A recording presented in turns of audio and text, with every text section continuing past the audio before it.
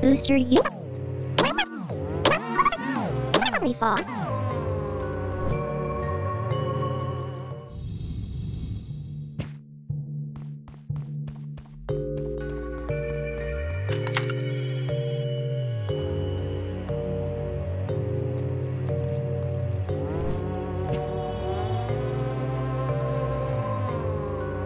Uh, Scarlet didn't quite realize she needed to shoot those energy orbs down below. Keep in mind, Stacy was doing this on a soundstage, okay?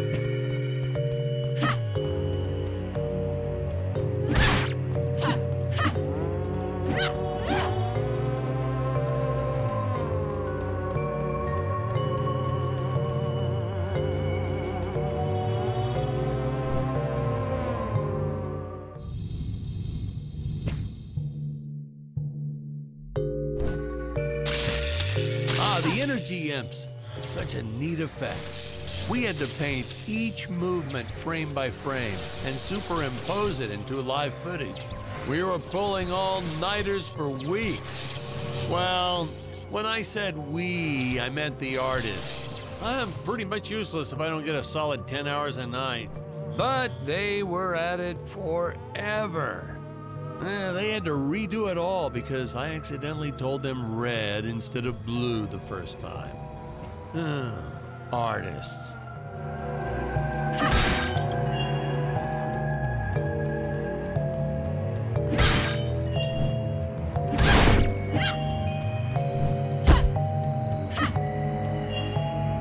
Curses! My father revoked my access to the teleport terminals. I shall only be able to utilize the ones I activate manually.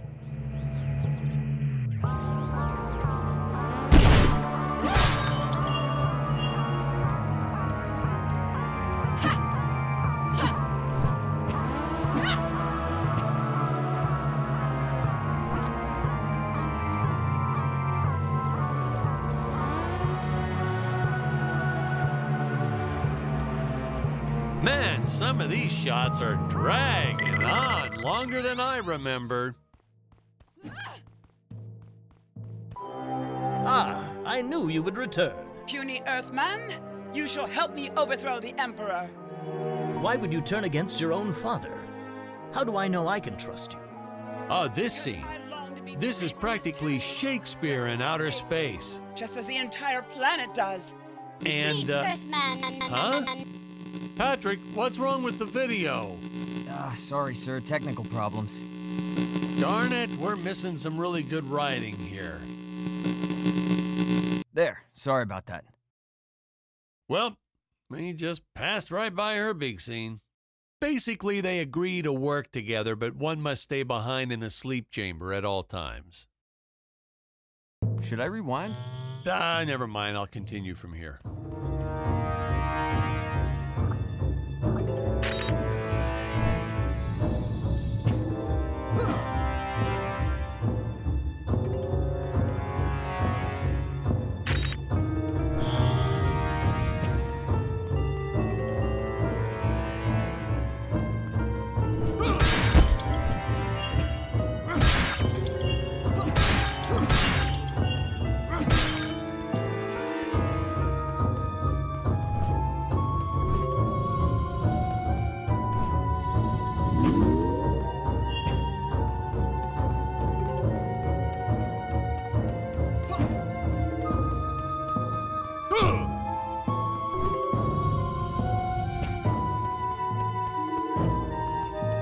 Right from the start, our budget was a little tight, even by standards back then. To make do, Tony shot a couple scenes in black and white. Originally, he intended to use it for flashbacks. But then I had to break it to him. Our film doesn't have flashbacks. We almost made it a silent film just to cut costs.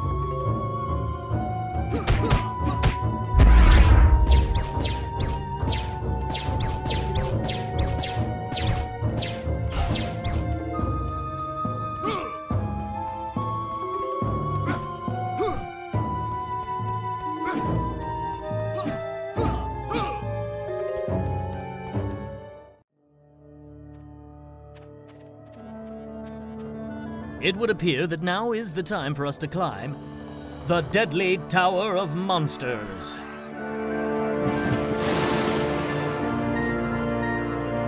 Good screenwriting 101. Always announce the title within the film itself. How else are you going to let the audience know your heroes really mean business? I felt it was an absolute necessity we have a T Rex in this film, but we got this Serato thing instead. Of course, I went through the whole production thinking it was a T Rex because, really, who can tell the difference anyway?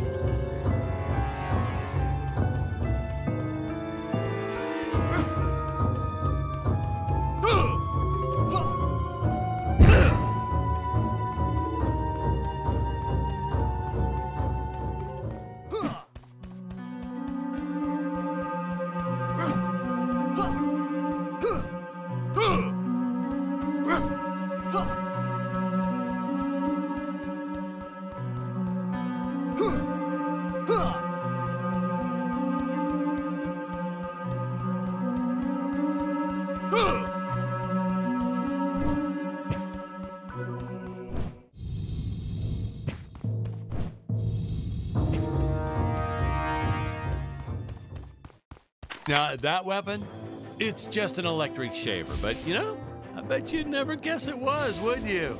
They look so futuristic.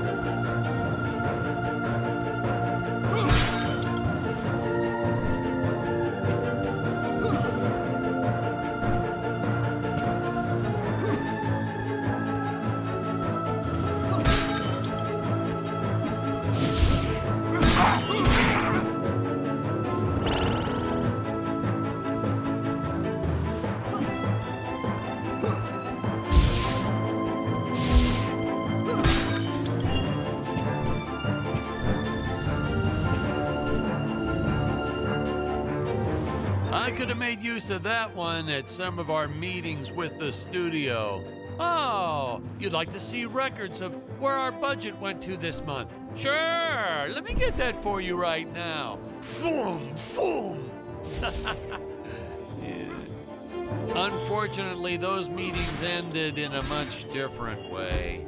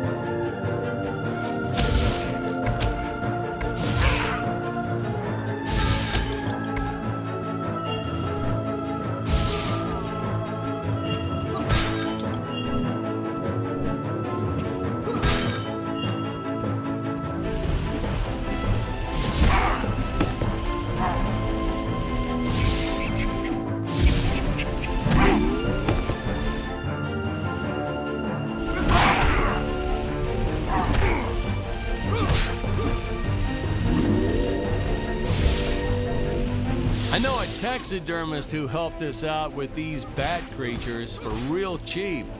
And he's not good. so, he's kind of sloppy if you want to know the truth. But that's the best part. A sloppy bat looks scarier. Oh, but you gotta sew up that sphincter. Just trust me on that one.